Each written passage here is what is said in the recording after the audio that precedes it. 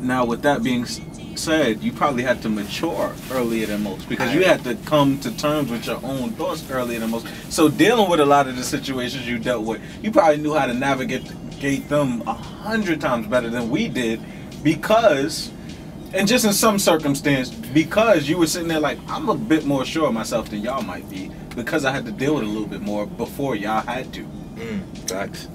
even if it's internally sounds that sounds right, nigga. I yeah.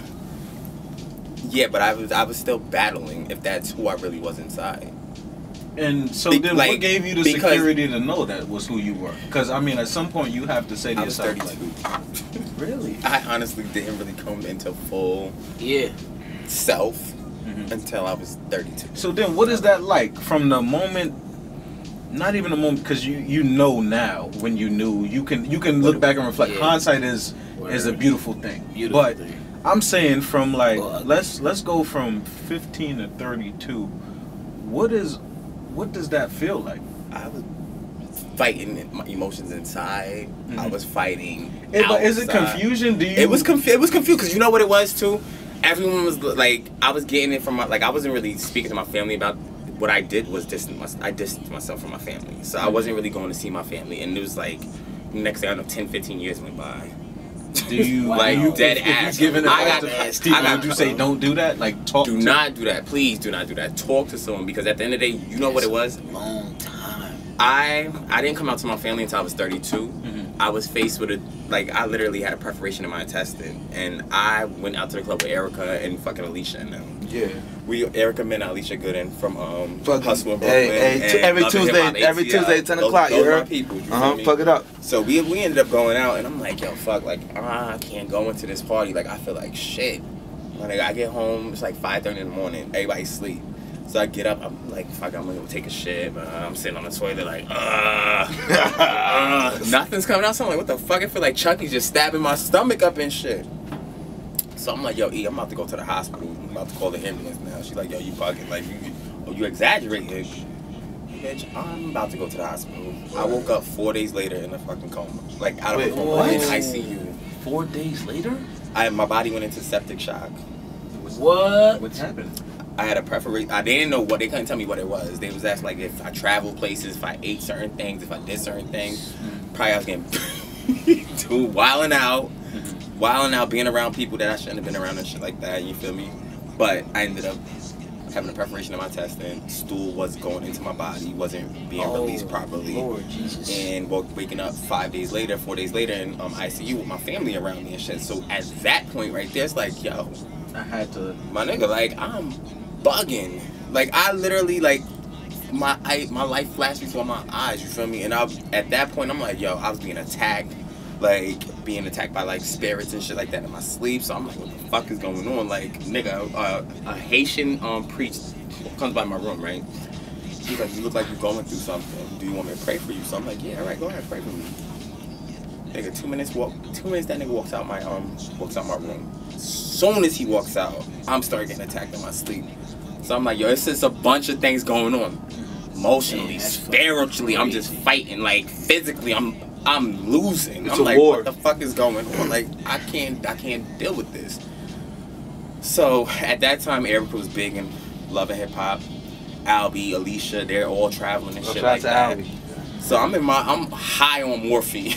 Oh, like, oh yeah, yeah, yeah, yeah. What's yeah. the pain? Eleven. Yeah. So like, I'm like, I'm sitting there watching like American Ninja and shit. Like, "Ooh, I don't know why I'm crying, but like, you know what I mean. So just don't think about everything. So I'm like, fuck, niggas ain't even here for me. Like these people, my people's like, what the fuck? I don't got nobody. So now I'm like, I don't got nobody. Like I'm thinking about my friends. I'm not even thinking about my family. The next day, my aunt comes down with my cousin. So I'm like, all right. Now I'm, they move me upstairs. I'm going to take I'm going to take a, a shower and shit. As soon as I went to go stand up, like this, mad blood just came out. What? I went to go like fall from like seeing the shit. Yo, my aunt started crying. That was really like what like dawned on me. Cause she was like, yo, I don't ever want to see you go through this. She was like, you're like my brother. Cause like my me and my aunt's like brother and sister. My grandmother Oh, raised me. Okay, okay. She's like, you're like my brother. Like, you feel me? Like, if something happens to you, I don't know what I'm have, what I'm gonna do. So I'm like, yo, that's fucking crazy. You feel me? Like, my aunt's coming down here to check on me. Mhm. I'm going through all these things. Like something gotta give. Like Joel Osteen, boy, he he was up in um in Yankee Stadium, Okay. and I'm going through my shit. All of a sudden, flicking, flicking, flicking. He's like, just when you think your life is going, your life is is nothing. You know what I mean? Just think about all the fertilizer that you that's being like the shit that's being added to your life. Don't think about it as shit. He's not saying those words. He's like, think about the stuff that's gonna grow from the fertilizer. It's tough to think about. So that, I'm that like- situation. Wow.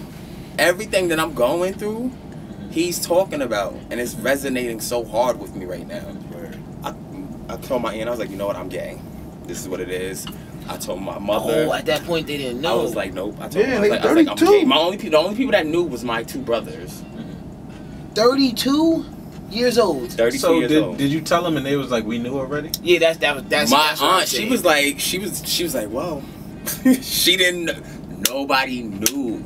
Really? what? No. What was, what was you like? I Well, was like, did I knew say how to he tell. did date women, so Yeah, he might have been knew bringing to- women by the house, so on and so forth. It wasn't that. Okay. Like I didn't. I wasn't bringing them around our house like that. By that point. I was like, they know me from dating women like my senior year, up until my senior year in high school. okay. and then you cut them off. Then I that. moved down to New York.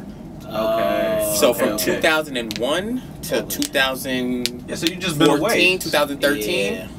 Out of sight, out of gone, mind. Exactly. Kind of So it's like, Yeah, okay. but now, now I have to deal with this nigga 35. Why he don't got no kids? Why he don't got no girl? Why he's not getting married? You feel me? I got other cousins that's getting married. They got kids and shit like that. So it's like at some point I'm gonna have to tell. Like I was gonna have to tell them. Mm-hmm. so I was like, you know what? Let me make it a little easier for myself. Let me tell my aunt because we're like this. Let me tell my mother. You know what I mean? Because she's my mother. Like I have to. Like I, I, I owe her that. I'm gonna tell her sister. I, I at least owe her the fact to know. Big facts, big facts. So um, when I told my aunt, she was like, you know what? She's like, I get it. It is what it is. And she paused for a second. So when she paused, I was like, damn, well, should I have told her this? And I was like, well, why you get quiet for? And she's like, well, you know, it's a lot to deal with. She's like, but, like, what the fuck am I do? She's like, I love you. She was like, you don't have to tell nobody else if you don't want to. Did that, did that lift some weight Hey, off your yo, I- shoulders? boy. I'm not gonna So that's so that's what I was That shit made me like, feel bad. I was like, damn, I feel good. It felt like such a weight was like a mountain, like Mount Rushmore was lifted off my chest. I'm like, oh, okay. This is like, now I'm, I'm good. Okay. She's like Madea. Mhm. So if I could tell her, You like, I if could she tell could hold me down, anybody. be Like, alright. you Real shit. My mother, on the other hand, she's like, Sal, Sal, um, what happened? How, what do you, so what do y'all do? I'm like, what? What how do you y'all have do? sex? What? Just like you and your husband without a fucking vagina. Oh man, that's that's, that's the old school. So. That's she the I like, understand so she transfer. looking at me like she she listening like um what is she like do you I'm like listen I'm not even having this talk with you no more later. But We're not having a burst that was of a bees now, nigga. during her time though. That was Yeah. a disease. but so, like, also fucking illiteracy and fucking being naive and stupid to certain things was a disease during their time True. too. Being close-minded for sure. One thing they can do is count money. they could keep a job and count money. that's a good point. I'll tell you that. Mhm. But when it comes to other things, we can't really like depend on their way of thinking. Yeah. You know? That's crazy though. So. And you think so? Your health, your health during that time. Do you think that it was influenced by you keeping that secret? You, I don't Mm. even. Was it really a secret at that point? Or was it just like, all right, these people are not even in my life right now? Yeah, that's what it You know what was. because I never, I never not told someone that I wasn't gay. Yeah. You know, If somebody asked you, it was you just would've none of your fucking like, business if. I didn't know you like that. Okay, and Nah, but rightfully so. at Like, why the fuck you need to know? Yeah, yeah. And then at the, at the end of the day, with the way I carry myself, I should never, you should never even question. The first thing you should question is my character. Yes. Over everything. You know what I mean? The person that's in front of you. Yeah. But I'll be honest, if I see you on the street and never just said a word to you, I'm not gonna immediately assume that. Unless I start Yeah. looking at all the granular details. Word. And still, I'm not gonna immediately assume that. Like I'd That's be true. very forward with you from first meeting you, I didn't immediately go, Okay, he's gay. No, you look like a Like, regular damn, what the fuck? I'm doing something. I knew, I knew, because Jeff told us like, yo. Yeah, but he's I mean, gay. I'm saying without- walked in, but without cool that nigga, I'm like, expectation, whatever, I'm like, Nigga, I didn't even So know until honest you and with I was having a to be conversation in the with you, This is the first like platform that I've ever come out. And I, was- I was just Hey, this my shit at work nigga, you at the You're a real table, my nigga, nigga. bro. You at the table, nigga. nigga. You're Come a on, real one, bro. nigga. I'm like, We chill. don't real. Come on, Only, bloody. only thing that would have threw me off was the, the, the pinky nails, but besides that, Yeah. All right, I'm gonna keep it. I got badass. I didn't even peep that till you. So just they said worked that. dice. A few weeks ago, I was getting, I was doing some shit at work where I had to go have a meeting with HR and my bosses, and I was rolling the dice. Mm. You know what? Speaking of HR and bosses, so let's let's let's let's go there. Mm-hmm. So being gay in the workplace, because for example, for me, at the law firm that I work at, um, like there's definitely a few uh, homies that's gay. Now, but I've I've never seen any like mistreatment amongst blacks, gays, lesbians, whatever. So, I mean, not necessarily saying with the company you work at now, but in any past experiences, have you ever felt some sort of like discrimination? Like, damn, like you know, I feel that they're treating me this way because they know I'm gay and black. Excuse me. Um, yes. So I actually had a conversation with um, my coworker a few weeks back Mm. because she said to me, she was like, "Why do you look so angry?" She Bitch, white? What? White- white She's woman? Asian. I said, "What? Probably Why I Asian. look so angry?" Why are you so angry? She's like, um, no. I was like, I told you this morning I was sick when I came in, right? Mm-hmm. She's like, yeah. I was like, that's explaining the reason on my face, the, the look on my face. I was like, let me tell you something. Don't, when you're talking to me, make sure you use your words, choose your words wisely. Mm-hmm. You, f- you understand? Because what Is that a what bad you- question to ask though? Why look so angry? It is when you're asking a black man at work in a corporate environment who works around a bunch of white people who already feel like black people have attitudes and gay people have attitudes. Mm-hmm. They feel like we're Okay, sassy, okay, okay, okay. sarcastic, Education. or either just nasty. Like, but that's not the case. Like, I just don't want to deal with the shit that you're giving me right now. Yeah, yeah, yeah. So now when I'm not smiling, oh, what's wrong? Then when I am smiling, oh, you're so happy today. I feel- I that feel what you're Why saying. aren't you? I feel what you're saying. I, feel like- so it's like, I don't- today. I don't know what mold to fit. Like it's